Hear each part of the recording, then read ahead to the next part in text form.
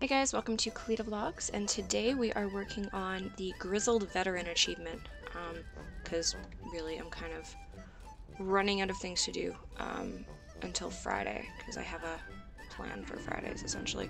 Maybe, we'll see. Um, anyway, so uh, this one is pretty simple, you just have to complete the PvP dailies, and now because it's Pandaria, there's like nobody there, so it's really easy. So what you're going to do is you're going to get to Northrend. You're going to go to Grizzly Hills and you're going to go to Venture Bay. And you're going to sit there until it becomes your faction. So Horde, if it's already Horde then you don't, or Alliance and it's already your faction, you can you can skip this portion, but otherwise um, just sit there until the little PvP meter goes to your faction, and then all the dailies will appear. All the NPCs will show up and you'll get the dailies. And all of the dailies, all eight of them I think, one, two, three, four, five, six, seven, nine, sorry.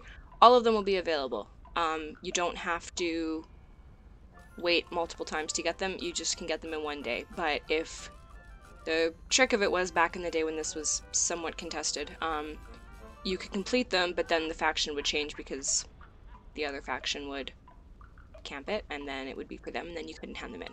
So, um, do this in off times or really anywhere because who's in Northrend these days, at least not in Grizzly Hills. So that's it for this one. Um, the dailies themselves are pretty simple.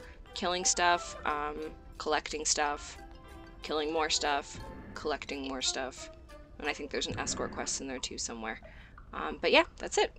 So I hope you found that helpful, guys. It's a really short crap video today. I'm very sorry, but wedding stuff is calling me and it needs to get done because I'm getting married next month. Ah! Anyway, like and subscribe if you feel so inclined. Have a beautiful day.